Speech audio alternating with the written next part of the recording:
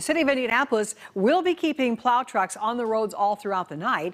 Some neighborhood streets may be getting cleared a lot faster than normal. CBS 4's Bianca Reyes joins us live now from the north side to explain. Bianca.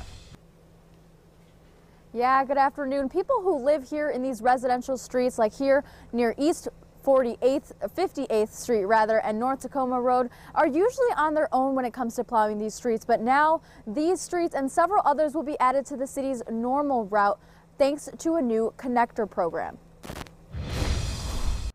We're hoping this evening that we will get to push into our new connector network of streets that are further into residential areas. Just in time for the first snowfall of the season, 300 miles worth of residential roads will be added to the city's snow route. We started this new connector network um, to replace uh, what we call the six inch rule. In the past, these roads would only get plowed by trucks the city contracted out, and only if snow fell above six inches. There's a little bit of worry that there might be some refreezing of moisture on the roads. A total of 80 Indy Snow Force drivers will continue to treat major and secondary streets into Thursday morning. As for interstates, INDOT says things are looking clear. We're still going to be out there. We're still going to be cleaning, um, laying some salt if there are some slippery spots uh, as things kind of thaw and refreeze as we move past this. 40 of INDOT's 55 fleet trucks will clear highways and state roads as areas begin to refreeze when temperatures drop tonight. This is the first significant snow that we've seen, but it's certainly not going to be the last. Indiana State Patrol says so far the first snow caused 48 crashes and 13 spin-offs, a number slightly better than last year's first snowfall. However, it's not over yet.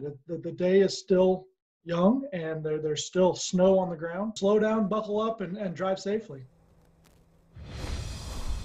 Now, State Trooper Sergeant John Perrine says right now is actually the most dangerous time for drivers who are driving on the interstate because right now most of the interstates are clear, so drivers will have the false sense of that they can go rather fast on the interstate, but he's warning people that there are still many slick spots out there. Reporting on the city's north side, I'm Bianca Reyes. Back to you.